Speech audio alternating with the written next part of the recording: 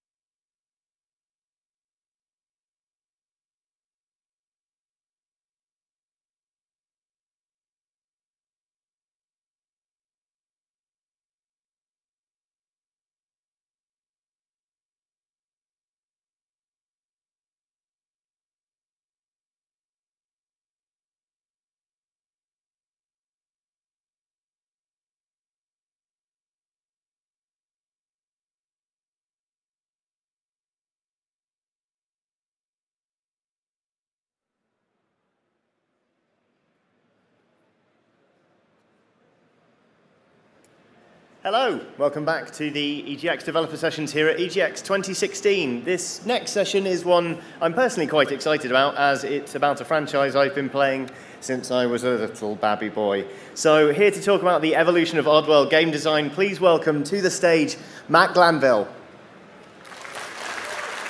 Thank you.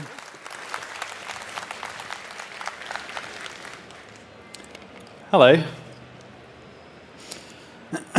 uh, hi, I'm Matt. Uh, I'm a game designer at Freema Studio, uh, and we are currently working on Oddworld Soulstorm, uh, which is the latest in the Oddworld series. Uh, it's due out end of next year.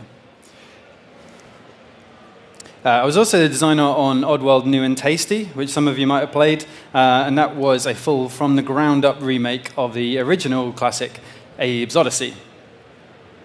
Uh, today I'm going to be talking to you about uh, how we have revived the Oddworld franchise for uh, the modern audience, uh, some of the changes that we've made between Abe's Oddysee and New 'n' Tasty, uh, some of the lessons that we learned in the process, and how we're taking our design philosophy forward into Soulstorm. Um, as a game designer, I focus primarily on character interaction, uh, level design, stuff like that. So I'll talk a little bit about visual design and where it overlaps with that, but I'm mainly focused on interaction. So Oddworld is a very unique series, as you probably know.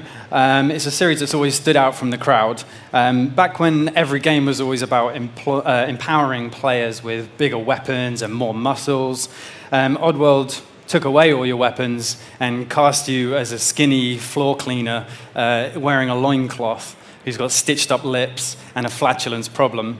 Um, at these core, these games have always had strong messages uh, about exposing the dark side of globalization.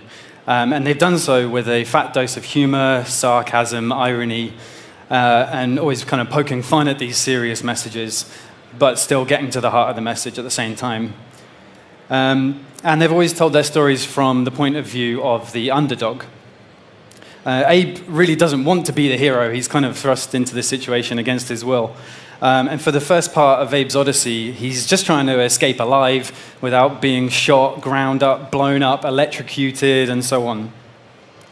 Um, the idea is really to get players to care about Abe and to want to look after him. And actually, the, the role of the player is kind of more of like a spiritual guardian angel to Abe, um, as they're trying to guide him through this, uh, through danger. And so, through Abe's struggle, uh, we get to see the effects of the greedy mega corporations and how that ripples down to affect the workers and the wildlife. Uh, nasty scrabs might look like horrible monsters, but really they're just wild animals, and they're victims in this situation as well. Uh, so, the result of this is a strong sense of concern for global ecological issues and compassions for the individuals who are involved. Uh, this carries right through into the gameplay because players are tasked with saving their fellow workers. Uh, and really, uh, whether Abe brings them to safety, freedom, or a grisly end, that's really on you as the player. So, who played this game here? Oh, that's actually pretty much everyone, so that's really cool. Thank you. Uh, uh, for anyone who's unfamiliar with it, which is probably only a few people from judging that, um, it was a 2D puzzle platformer first released on the PlayStation 1 back in 1997. Uh, it tells the story of this factory worker called Abe. Uh, he one day discovers that his Glukkon employers are uh, farming all their livestock to the point of extinction. And um, as a last resort to protect their bottom lines, um, they're going to turn all of Abe and his fellow workers into the next treat on the menu. Uh, so, of course, it's up to Abe to lead them all to freedom and bring down the Glukkons. Uh, it was incredibly popular when it was first released. Um, but as you might expect, from a game from 1997, it was not without its limitations. Uh, the game had these kind of static flip screens, as we call them. Um, so the player viewed like a very static single uh, area of the environment. And when they walk off one side of the screen, it cuts to the next one, and so on and so forth. It's in this kind of grid based system. Uh, by the way, there was this clever kind of screen wipe effect whenever you did that as you walked off the screen, and that was just a, a simple trick to kind of draw your eye to the other side of the screen. Um, so they may be very slick and look beautifully rendered for the time, uh, but really, these kind of static backdrops existed because of hardware limitations, uh, because you know, the PS1 hardware was not really all that powerful. Um, and everyone at the time was making 3D games, uh, but because it was still early days for 3D tech, it was very hard to get that to look good. Uh, so having this pre-rendered look meant that you could make it look a lot nicer and get more the kind of film quality to it. Uh, and it also means it can stand out from the crowd a lot more. Uh, but it did mean that the camera couldn't move, and it put a lot of constraints on the gameplay. Uh, the gameplay was grid-based, and all the animations were pre-rendered, so it meant that everything was very kind of methodical, and you had to carefully plan your steps, uh, and that really had wide-ranging impacts. Uh, it was a very strict puzzle game um, so the puzzle, puzzle, solutions were largely predetermined. Uh, there was usually only one way that you could solve problems. Um, and if you got it wrong, that usually meant you died straight away, and it could be quite frustrating at times. Um, it did create a sense of heightened vulnerability um, and, and danger, and that really resonated with some people, and it certainly uh, lends itself well to Abe's struggle. Um, but there were a huge number of players who they loved Oddworld, they loved the environment, they loved the setting, the characters, the story, but they just couldn't get even past the first level because it was so difficult. And uh, unfortunately, I include myself in that group. Um, and any developers among you will know that you really you want to see people get to the end of the game and see everything you've made for them because otherwise it's just wasted, you know. Um, so um, not everyone is at the same skill level as well. So how can you really know what's easy enough for one person is easy enough for everyone? Uh, so this is kind of how we've come to move away from this kind of harsh punishment uh, from future games. Which brings me on to New 'n' Tasty.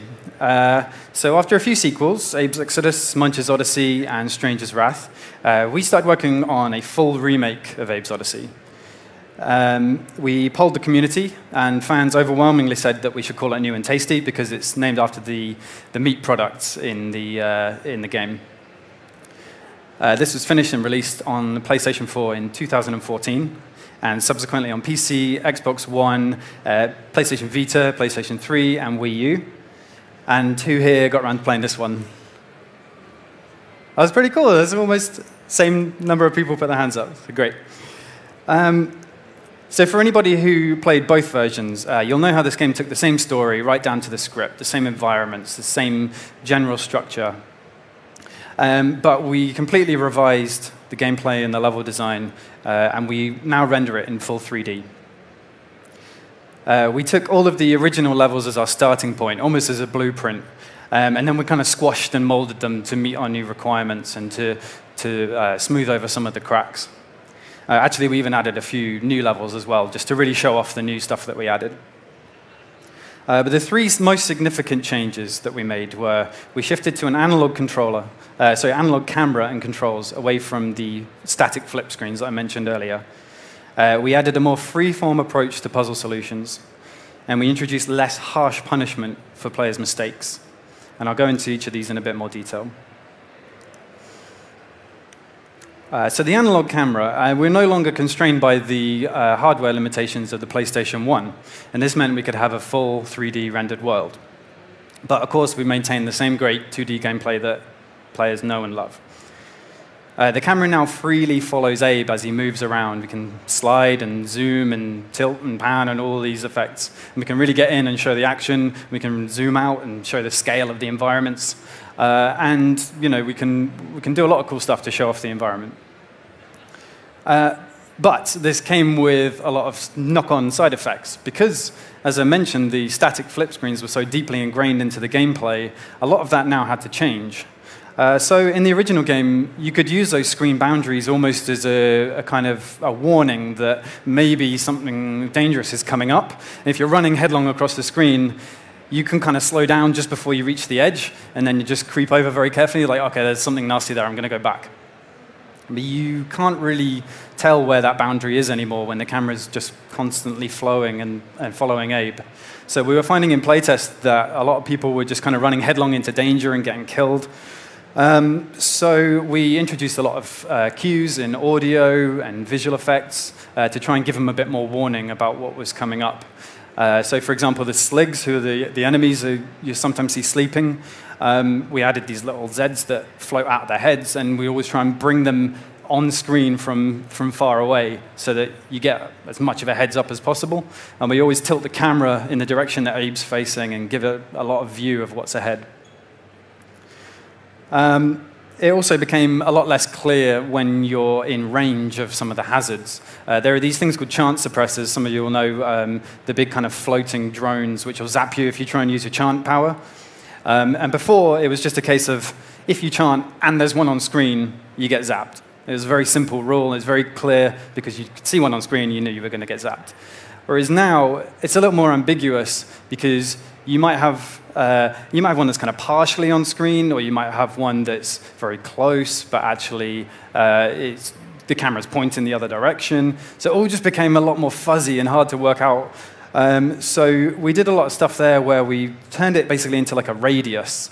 Um, and if you're stood inside that radius, you'll get zapped. And we made sure that that was always really clear by uh, pulling the camera out, framing these things on screen if you're in range.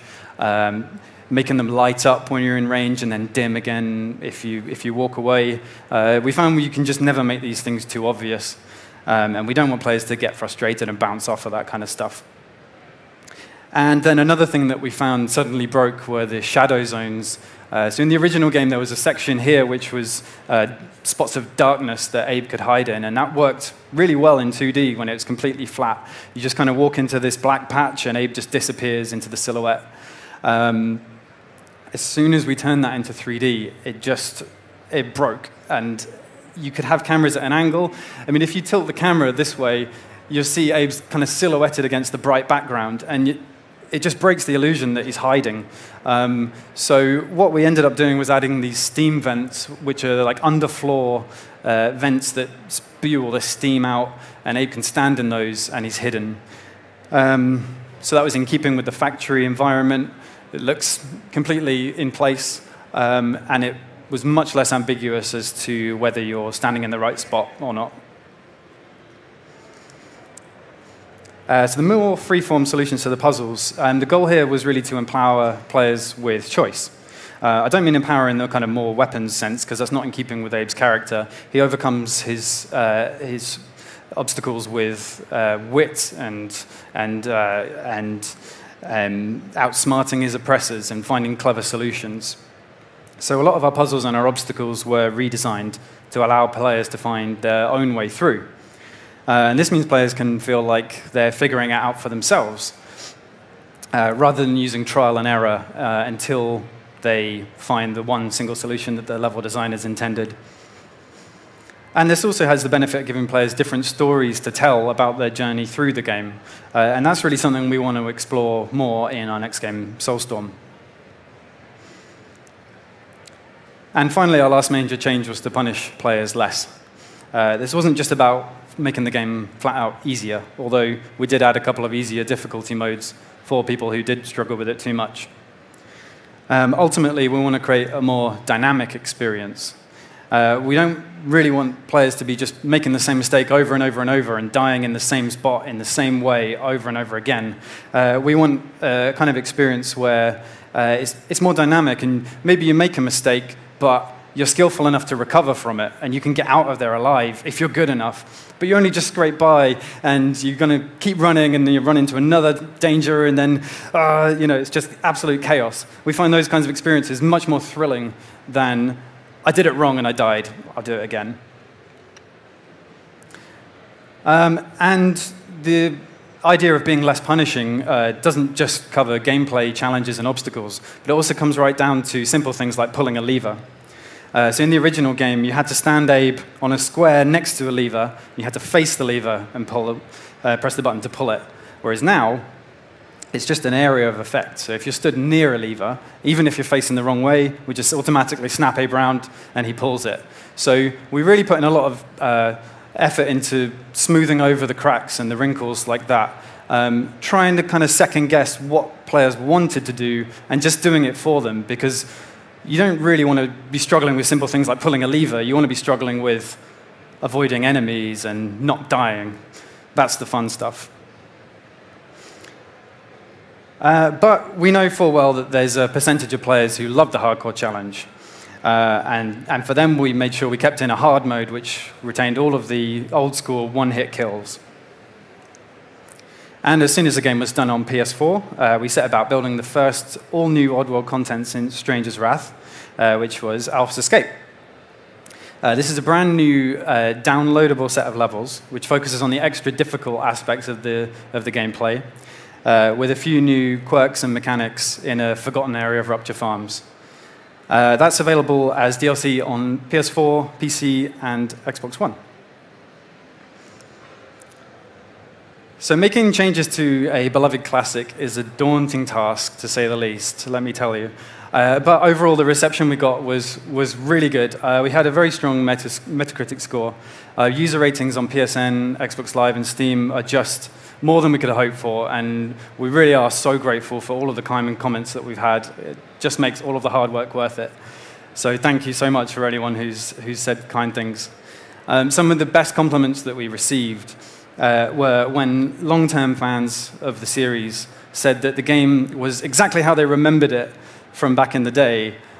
But then when they went back and played the original, they realized just how much we'd changed and just how many of the wrinkles we'd smoothed out. And in some cases, they even found it a little bit difficult to go back to the old game because they were so well adjusted to the new one. Uh, so that was really nice to hear.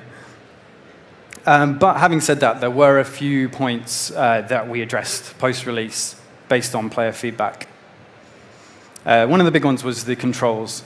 And during development, we strove for what we thought worked the best uh, in terms of controls. But despite this, there were still some people who, who really liked the controls of the original game. They had this kind of very digital kind of setup. Um, so we added a few options so that you can get something that's a lot closer to that kind of thing. Uh, so now you can hold a button to run rather than having it on the analog stick, full analog uh, movement. And we added a button, uh, the sideways hop, which lets you basically just push one button to jump to the side rather than having to jump and move.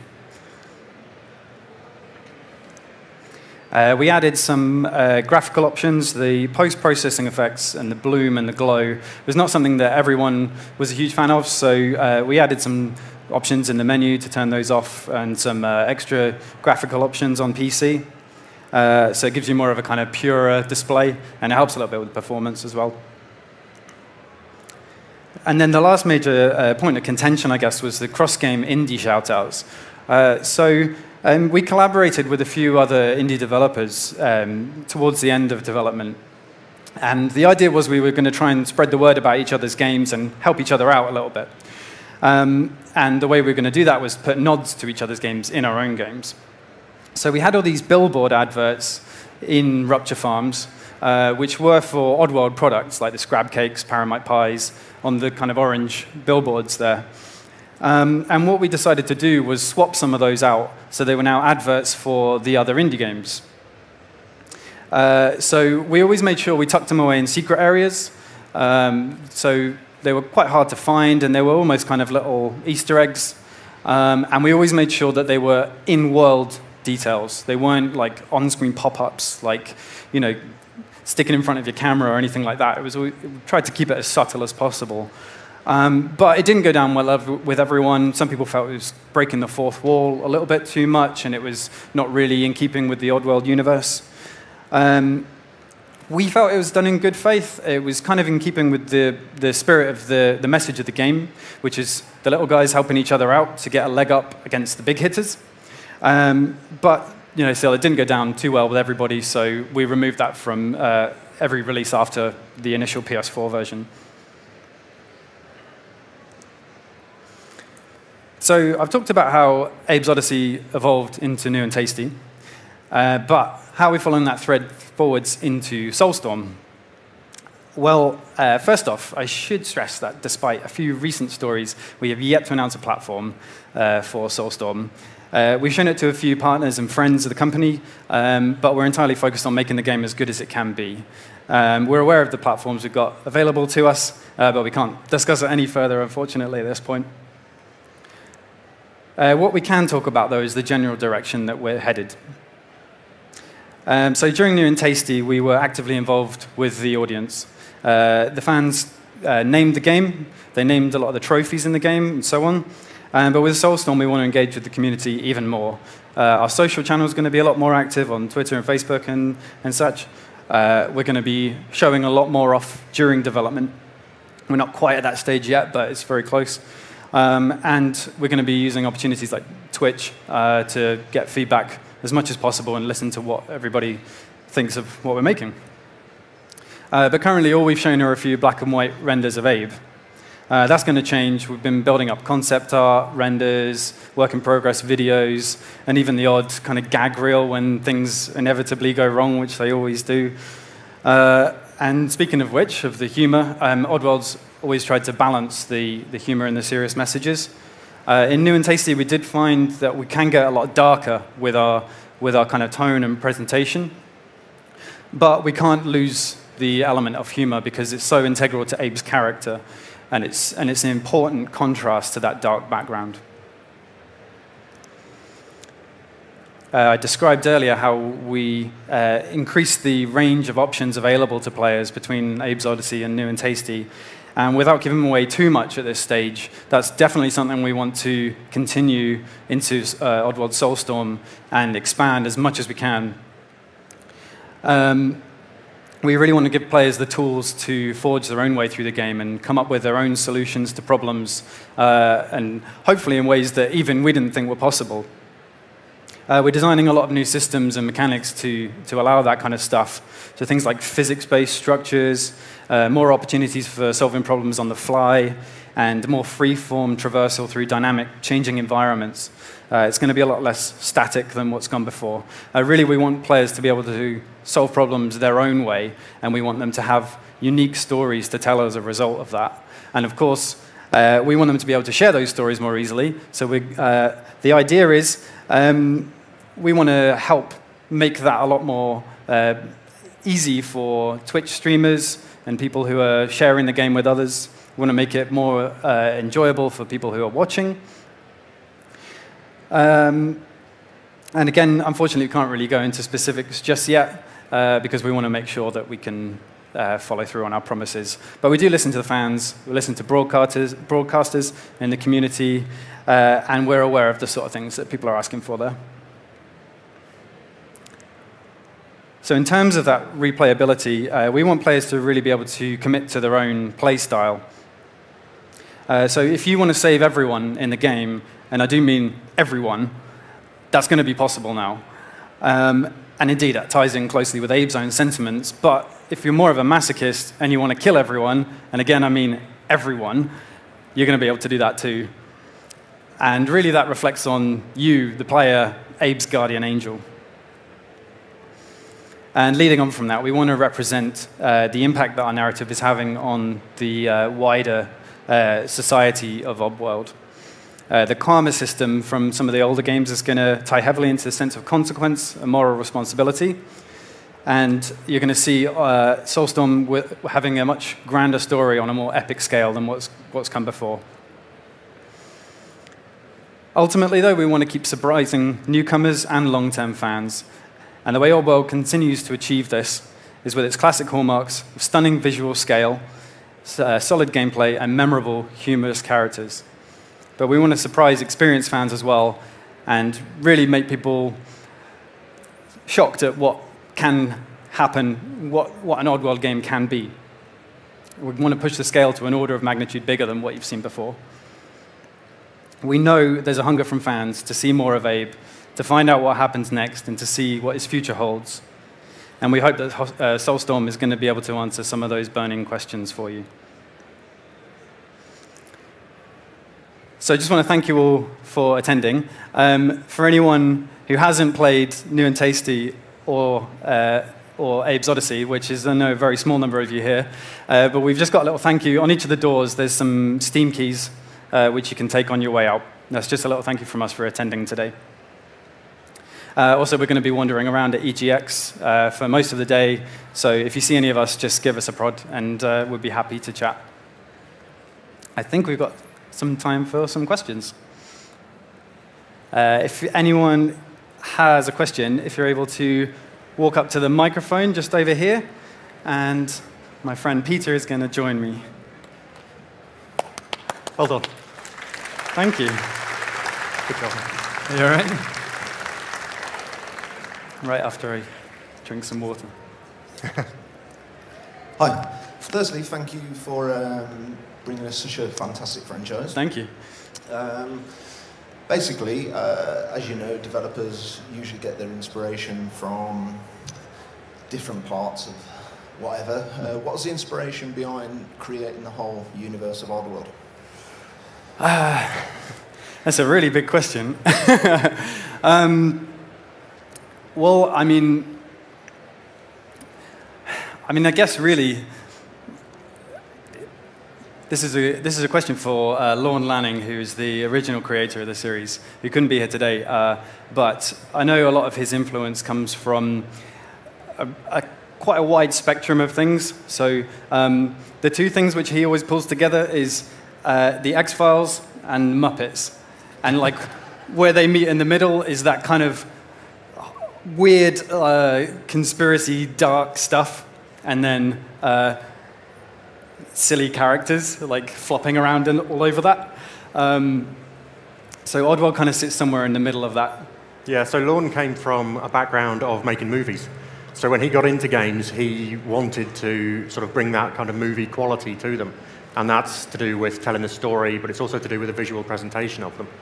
Um, so, like Matt says, he really did aim for that kind of middle ground between like Disney and Tim Burton, or you know that kind of weird kookiness. But it was really things that he saw from the movies, and he had a vision for where he thought that video games could go as a medium, and he saw it as a much better option for telling stories than something that you just sit down and like passively take part in, like a movie. Thank you very much. Thank you. Don't be shy, guys. Come on. Hello. I, I just want to say I met one of my best friends through Oddworld, so it'll always have a special place to me. Uh, the thing I'm wondering, what are your personal races out of all the Oddworld creatures? Like Personal favorites? favorites. Um, I like some of the live ammo from Stranger's Wrath. Yeah. Some of those guys are cute. Um, I think some of the like the classic paramites and scrabs from Yeah. Oddysee. I think they stick in people's memories a lot. Elum, you've got to love Elum. He's just this big, dumb beast. He's just happy to follow you around. It's just nice. Right. Thank you. Thank you very much. Hi there. Hello. Right. Um, I just wanted to ask. Uh, seems like we're going. ooh. all right. It seems like we're going um, and following Abe through the, the next game. Will there be any um, a development from a different uh, protagonists, like Stranger, like the the cancelled g- the, the game after Stranger? Do you want that? Yeah. Well, let us know that you want it. You know, if the fans tell us that that's what they want, then that's where we'll go. You know, we um, we remade New 'n' Tasty because Abe's Oddysee was kind of the linchpin for most of Oddworld fans, so that's something that everybody knew. So when we did the New 'n' Tasty remake, that was really why, because it was something that people identified with already. Um, so it was kind of an easy sell for us. Um, and we've carried on with Oddworld Soulstorm because we think that uh, the fan base, um, Abe resonates with people as a character. People know Abe, he's probably our most famous character. So Soulstorm seemed like the logical place to go, was to follow his story, but nothing's off the table. So at the moment, we're completely focused on Soulstorm, but all those ideas for the cancelled projects that you might have heard about, they still exist. Um, all those characters, they still exist. You know, it's all it's all fluid, but the ideas are there, and we will revisit them if that's what the people tell us that they want. So tell us that you want that, and we'll do it. Thank you. Thank, you. Hello. Hi. Hi. Um, first of all, I do want to say, like, thank you for like remaking the game. It was nice to finish it 20 years later on. like, Me too. um, but one thing that I actually do remember from the Oddysee, we're actually on the back of the manual, kind of going on with the lady before me there, was the quintology that it mentioned. Now, again, she's wanting the next. I'm here again saying I'd like the next. Like, what's after A? What's after Munch Stranger? And I'm just kind of wondering because they had that on the on the back of the instruction manual on the game. Now, you've said you've got some of them stories develops and characters still. Are there any, I know you can't really say too much, but are there anything that you've got there that you would like to bring into the into the future at all and like within the Abe universe and well, etc. Well, speaking personally, yeah, I want to see it all. So um, I want to see all the characters that like our hardcore fans will have heard of from previous projects that may have been shelved. But I, I do want to see what Abe can do next. Um, and there is sort of some ideas around where Abe's story is going. Um, when the quintology was mentioned, there was a certain plan in place for that, uh, certain things. We don't count Exoddus as part of the quintology, so it was just like a, a bonus game. Uh, Munch is quintology, but Strangers isn't. Strangers Yep. was like another bonus game. So technically, we've released two of them, but times have changed, and you know the ideas have changed, and maybe if we go on to make a quintology for Oddworld, it's a quintology of games that feature Abe. Maybe it'll be a quintology of games that feature unique characters. It depends what our user base tells us that they want. Because as small indie developers, we kind of rely on you guys to help us with everything, with the marketing, with the like focus groups. We don't do focus testing um, because we leave that up to you guys to tell us what you enjoy and what you don't necessarily enjoy so much, and we tweak it for the next project. Um, so if you guys are telling us that you want to see the quintology as it was originally envisaged, then that's the direction we will head in. All those ideas are still there. Everything's, you know, it just depends what we think the market wants. Oh, awesome. Thank you. Thanks. Thanks. All right, how you doing? Hi. Um, I was a big fan, obviously, of Abe's Oddysee itself, but it wasn't my favorite out of all the games so far. My favorite was Exoddus. I loved the fact you could control your fart and stuff like that. There. um, question is, is there going to be a New 'n' Tasty two as Exoddus? Uh, Have you thought Do you about it? Yeah, well, um, there's a, Soulstorm is a sequel to New 'n' Tasty, so it's not. It's definitely not an Exoddus remake. It's a brand new game, but it does have uh, certain areas. If you're a big fan of Exoddus, you'll know certain areas.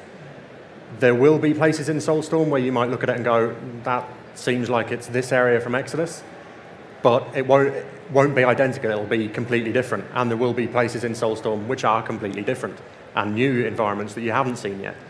Um, so we're kind of talking about Soulstorm as a sequel to Abe's Oddysee or New 'n' Tasty um, because it's a much bigger game, uh, but it touches on elements of Exoddus. But Exoddus was made in a hurry. Um, it wasn't necessarily the game that the company wanted to make at the time because it was made in such a hurry. So um, the ideas that were there for Exoddus are now going into Soulstorm. and informing the way we make that brand new game. Fair enough. So, sort of Soulstorm's like what Exoddus should have been. Yes. Yeah. Thank you. That's uh, sort of answered my question as well, because I was going to ask if Soulstorm follows on from Exoddus. Um, but I am now wondering, does that sort of mean Exoddus's story is void, or will it sort of be retold through Soulstorm? It's kind of a retelling, yeah. Um, Soulstorm does follow on directly from New 'n' Tasty. Um, I wouldn't say it's void, you know, it still exists. Uh, it's just, this is a, yeah, a, n- a new telling of that story. Thank you. Yeah. Looking forward to it. Cool, thank you. Thanks. you. Hello. Thanks for uh, coming to see us. I enjoyed the slideshow. Thanks for coming Uh, to see us. My question is, when Exoddus came out, they produced like some promotional beer, some brew that came with it. Back then, I was too young to drink it. when this comes out, can you make some more? I, re- I really want to taste some tears. We'll do what we can. They might not be made of ground up bones, though. Ah, that's going to be the same. Thank you very much. Thank you. Thank you. Cool. We done? All right, well, thank you both so much for coming. Uh, it was really, really interesting. At the top of the hour, we've got a session on Jalopy. Its creator will be here to talk about the weirdest driving sim you've probably ever played, so don't miss that. But in the meantime, just uh, please, another round of applause.